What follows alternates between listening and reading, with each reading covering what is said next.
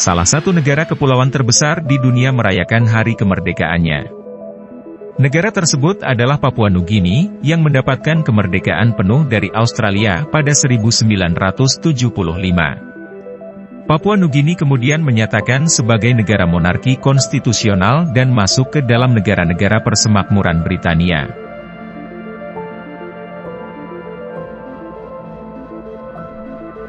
Di masa lalu, perburuan kepala dan kanibalisme terjadi di banyak tempat yang sekarang bernama Papua Nugini. Kemudian di awal 1950, praktik kanibalisme hampir seluruhnya berhenti. Orang Eropa yang diakini melihat Papua Nugini pertama kali adalah navigator asal Portugis dan Spanyol yang berlayar di Pasifik Selatan di awal abad ke-16.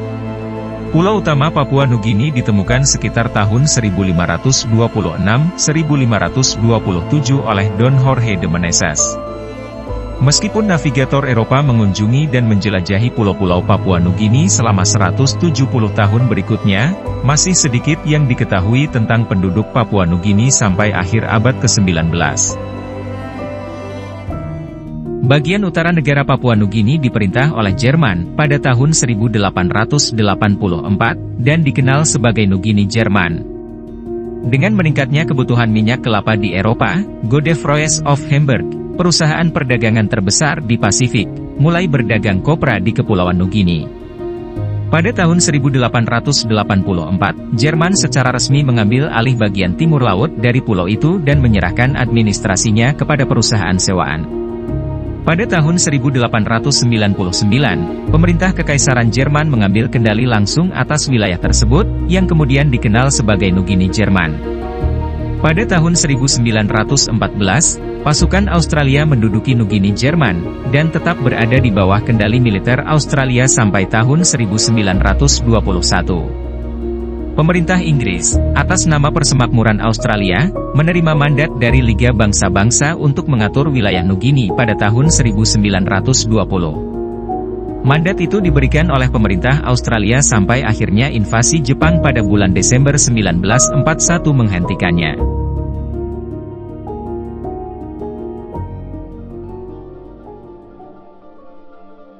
Pada tahun 1975, Papua dan Nugini mendeklarasikan kemerdekaan dari Australia. Gerakan kemerdekaan ini menyebabkan perang literal. Orang-orang dalam negeri memperdebatkan cara yang adil untuk menarik batas-batas negara sedangkan orang-orang di sisi lain Papua Nugini mengkhawatirkan pangkalan militer mereka. Perpecahan dan pemberontakan yang mendalam adalah tiga penyebab utama perang di Papua Nugini. Pembagian budaya antara Melanesia Austronesia sering dianggap sebagai alasan paling berpengaruh untuk kemerdekaan dari kolonial Australia.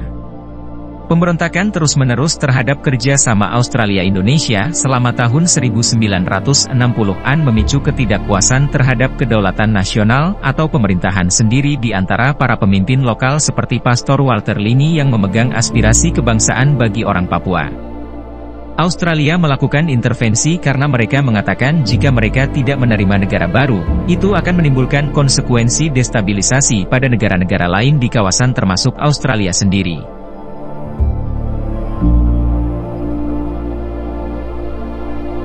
Pada tanggal 6 November 1884, Protektorat Inggris diproklamasikan atas pantai selatan Nugini, daerah yang disebut Papua, dan pulau-pulau yang berdekatan. Protektorat, yang disebut British New Guinea, dianeksasi langsung pada tanggal 4 September 1888.